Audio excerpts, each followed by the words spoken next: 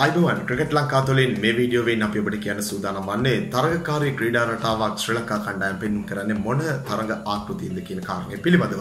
ඇත්තටම ශ්‍රී ලංකා ක්‍රිකට් කණ්ඩායම test cricket ක්‍රීඩාවෙන් සහ T20 තරග රටාවෙන් එක්දින තරග රටාවට වඩා වැඩි දක්ෂතාවයක් තරගකාරී තරග රටාවක් පසුගිය කාලේ පෙන්වුවා. ඒකට හොඳ උදාහරණයක් සපයනවා දකුණු අප්‍රිකාව සමග පහට බිඳුවක් ලෙස එක්දින තරග සියල්ල පරාජය වෙලා තිබෙදී පළමු T20 තරගයේදී තරගකාරී ලෙස තරගයට මුහුණ දුන් ආකාරය තුලින් ඒ වගේ මේ තරගය සඳහා කණ්ඩායම් දෙකටම ලැබුණු තනතිල්ල ආසියාවේ වගේ හොඳින් පන්දුව දඟ කැවෙන තනතිල්ලක්.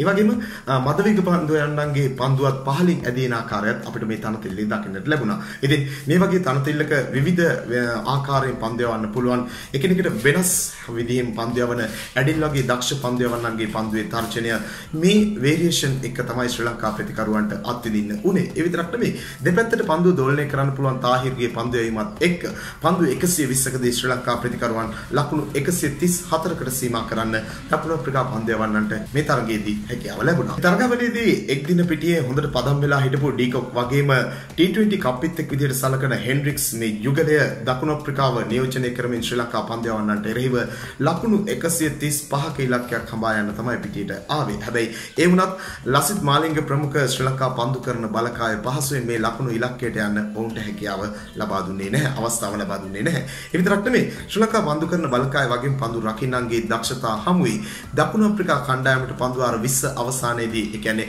පන්දු 120ක් ඉවර වෙද්දී ඔවුන්ටත් ලබා ගැනීමට හැකියාව ලැබුණේ ලකුණු 134ක් විතරයි. ඉතින් මේ විදිහට කණ්ඩායම් දෙකෙම ලකුණු සමවීමත් එක්ක ඊළඟ විකල්පය වන ජයග්‍රහණය තෝරන්න තියෙන ඊළඟ විකල්පය වන සුපිරි පන්දු වාරයට ගිහිල්ලා තමයි මේ තරගයේ ජයග්‍රහණය තීරණය වුණේ. කොහොමුණත් මේ සුපිරි පන්දු වාරයට පස්සේ ශ්‍රී ලංකා කණ්ඩායමට අත්විඳින්නට ලැබුණේ තවත් අවාසනාවන්ත පරාජයක් විතරයි. ඒ අවාසනාවන්ත පරාජයට පස්සේ සුපිරි පන්දුවීමක නිරත වුණු පන්දු වාර 4 ලකුණු 11කට සීමා කරමින් කඩලු දෙකක් දවාගත්ත ශ්‍රී ලංකා කණ්ඩායමේ නායක ලසිත් මාලිංග තරගයේ අවසානයේ මෙන්න මෙහෙම අදහස් දක්වලා තිබුණා. මාලිංග කියන විදිහට මෙන්න මෙහෙම කතාවක් තමයි මාලිංග කියන්නේ. අපි අවසාන මොහොත වෙනකන් උත්සාහ කළා. හැබැයි අපි හිතපු විදිහට තරගය අවසන් වුණේ නැහැ.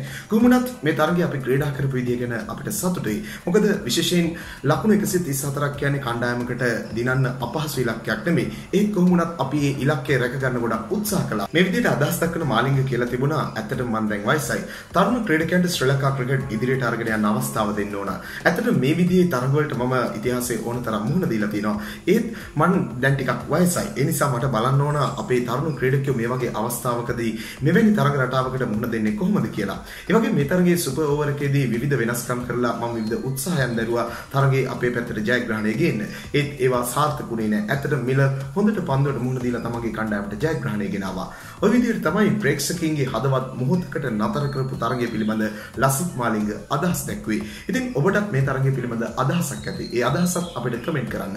ඒ වගේම ක්‍රිකට් පිටියේ සිදුවන මෙවැනි සුවිශේෂී දේ බලන්න ඔබ තවමත් අපේ channel එක subscribe කරලා නැත්නම් දැන්ම අපිව subscribe කරන්න. ක්‍රිකට් වලට කැමති ඔබේ යහළුවෙකුට බලන්න මේ වීඩියෝ එක share කරන්නත් අමතක කරන්න එපා.